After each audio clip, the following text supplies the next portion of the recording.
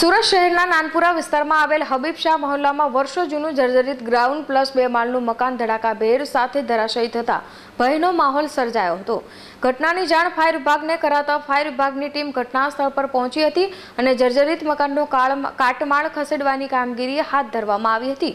જો કે કોઈ જાનહાનિ થવા પામી ન હતી. હાલ તો ફાયર વિભાગ દ્વારા મકાન માલિકને ઘર ખાલી કરાવવા જણાવાયું છે. ઉલ્લેખનીય છે કે સુરત શહેરમાં અનેક જર્જરિત મિલકતો આવેલા છે. છતાં પણ પાલિકા દ્વારા નામ માત્ર જ કામગીરી કરવામાં આવી રહી છે. એક દિવસ અગાઉ જ સુરતના ઉધના વિસ્તારમાં સ્લેબ પડી જવાની ઘટનાએ બે બાળકોનો ભોગ લીધો હતો. ત્યારે સુરતનું આરસુ પાલિકા જર્જરિત માલિક મિલકતોનો સર્વે કરી ક્યારે કાર્યવાહી કરશે તે તો હવે જોવું રહ્યું.